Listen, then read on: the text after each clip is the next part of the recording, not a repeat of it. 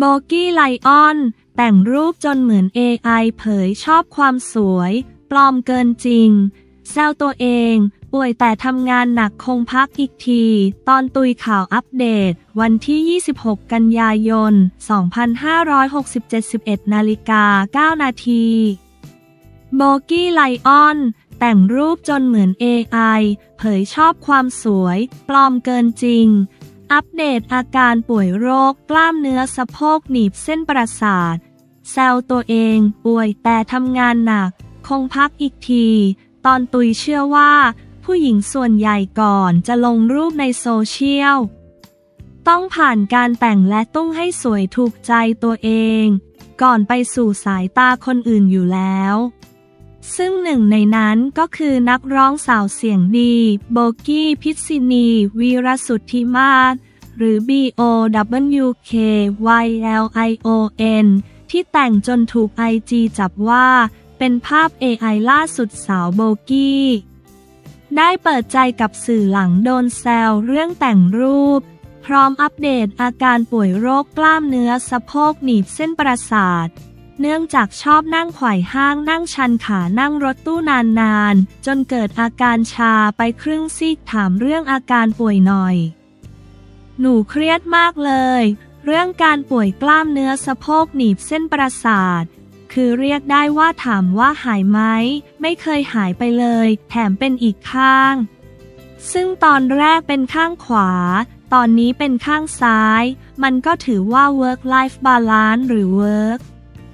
Life Ambulance ตอนนี้บุคลิกก็ดีขึ้น เพราะเป็นสองข้าง ซึ่งตอนนี้หมอห้ามเช่น ยืนนั่งนานๆจริงๆ เราพยายามเป็นตัวเองให้ดีที่สุดแล้วนะ แต่ด้วยอาชีพการงานสมมุติหนูอยู่หน้าคอม จะให้หนูยืนทำเพลง ก็ไม่ได้จริงๆ คุณหมอไม่ได้ห้ามยืนไม่ได้ ห้ามนั่งเข่าแค่ห้ามว่าในโพสิชันอย่านาน ต้องนั่งลง ต้องลุกขึ้นหน่อย ซึ่งหนูจะแบบใส่หูฟัง แล้วหนูก็ถือไม้มันไม่ได้ ก็พยายามใช้ตัวช่วย เช่น แบบว่ามีหมอนมารองนั่งเราเดินทางนานๆ ก็พยายามใช้เครื่องบิน และเอาหมอนไปรองเพื่อไม่ให้สะโพกเราไปทับ ถามว่ายากไหมก็ยากอยู่สำหรับอาชีพที่ต้องนั่งจับคอมอยู่ตลอดแต่ก่อนหน้านี้ที่ได้สัมภาษณ์ไป กับปัจจุบันนี้คือมันเป็นสองข้างถือว่าหนักขึ้นไหม หัวเราะก็ balance ขึ้น work life ambulance ทีนี้จะมีการทำกายภาพไหม ไม่มีเวลาเลย ตอนนั้น กายภาพก็นัดมาตีห้าจนหกโมงเช้าอันนี้ เรื่องจริงเราจะขอว่าให้ช่วยเปิดหน่อยได้ไหมจำเป็นต้องไปเช้าจริง ๆ ถ้าสมมุติบางวันต้องไปเช้า ก็จะมีบางทีหมอกายภาพ ทักมาในไอจีเห็นภาพนั่งไขว่ห้าง หมอก็จะทักว่านั่งอะไรมาเวลาพักผ่อนเราพอไหม ไม่พอเลยค่ะ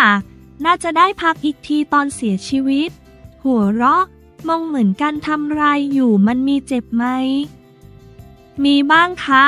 มันจะมีปวดบ้านเอวปวด เมื่อยสุดๆบางวัน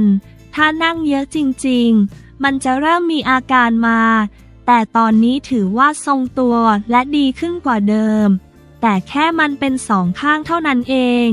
ใช้คำว่าชินไหม ชินก็ได้ชิน คุณหมอได้บอกไหม มีโอกาสหาย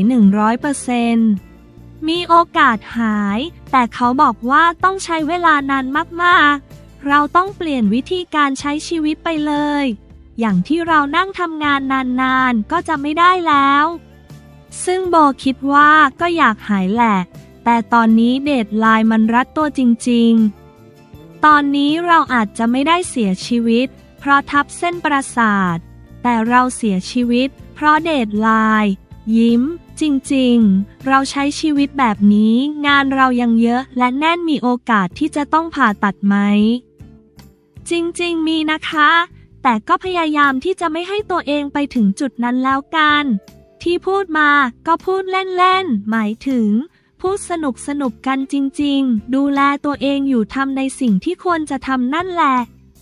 แต่สิ่งที่เลี่ยงไม่ได้ ก็พยายามหาตัวช่วย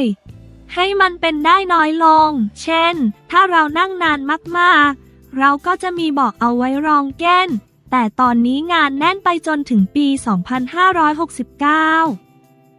ตอนนี้พิจารณากันกับค่ายว่า อาจจะค่อยๆเป็นค่อยๆไปค่อยๆรับ เพราะบางทีป่วยหนึ่งครั้ง เป็นโดมิโนเลยนะล้มระเนระนาดเลย เพราะมันทำอะไรไม่ได้จริงๆ มันป่วยจริงๆ และเราเองก็ไม่อยากหยุดงาน เพราะเราหยุดงาน แต่ละร้านแต่ละอีเวนต์ก็ต้องมาเสีย เพราะเรารวมถึงเราเองก็จะต้องเสียรายได้หลาย ๆ อย่างอย่างแฟนคลับก็ต้องมารอไม่เคยอยากหยุดสักงานเลย แต่เราพิจารณากันก็อยากให้ค่อย ๆ รับไปทีละเดือนเดือน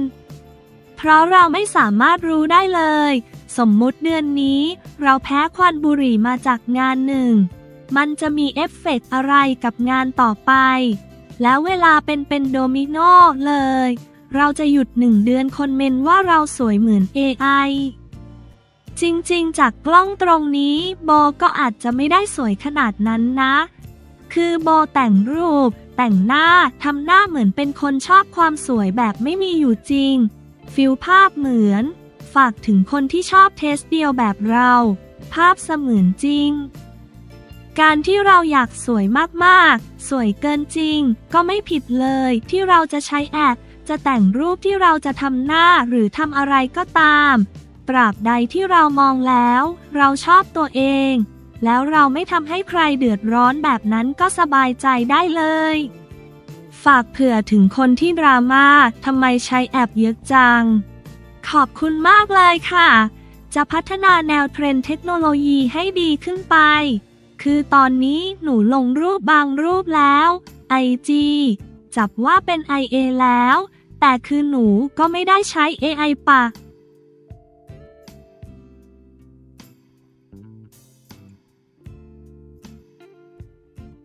เอาเลิกเอาชัย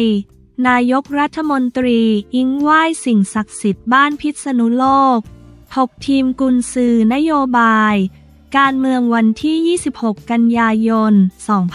2567 10นาฬิกา15 นาทีนายกรัฐมนตรีอิงถือเลิกสักการะสิ่งศักดิ์สิทธิ์บ้านพิษณุโลก ก่อนใช้สถานที่บ้านพิษณุโลก ถกคณะที่ปรึกษานโยบายของนายกรัฐมนตรีนัดแรกเมื่อเวลา 9 นาฬิกา วันที่ 26 กันยายน 2567 ผู้สื่อข่าวรายงานว่า นางสาวแพทองทานชินวัตรนายกรัฐมนตรีเดินทางมาถึงบ้านพิษณุโลก หรือบ้านบรรทมศิลป์ซึ่งเดิมเป็นบ้านพักประจำตำแหน่งนายกรัฐมนตรี เพื่อประชุมหารือร่วมกับคณะที่ปรึกษานโยบายของนายกรัฐมนตรี ในเวลา 10 นาฬิกา เมื่อมาถึงนายกรัฐมนตรี พร้อมคณะที่ปรึกษาทั้ง 5 คน ประกอบหนึ่งนายพันศักดิ์วิญญรัตน์ประธานที่ปรึกษาสองนายสุรพงศ์สืบวงลี รองประธานที่ปรึกษาสาม นายสุภวุฒิสายเชื้อที่ปรึกษาสี่นายธงทองจันทรางสุขที่ปรึกษา 5. นายพงเทพเทพการจนาที่ปรึกษาพร้อมทั้งหัวหน้าฝ่ายเลขานุการนายกรัฐมนตรี ฝ่ายบริหารที่ได้รับมอบหมาย เป็นเลขานุการคณะที่ปรึกษารวมถึงนายแพทย์ พรหมมิน เลิศสุรเดชเลขาธิการนายกรัฐมนตรี ได้สักการะสิ่งศักดิ์สิทธิ์ประจำบ้านพิษณุโลก เริ่มจากสักการะศาลเจ้าพ่อเท้าฮิรันพนาศูนย์ จากนั้นขึ้นไปไหว้พระพุทธรูป และพระพรหมภายในบ้านพิษณุโลก ก่อนลงมาสักการะพระนารายณ์บรรทมศิลป์ ซึ่งเป็นสัญญลักษณ์พระราชทาน เป็นเครื่องหมายประจำประทุน เป็นเครื่องหมายประจำตระกูลประดิษฐาน อยู่บนแท่นศิลาในอ่างน้ำพุ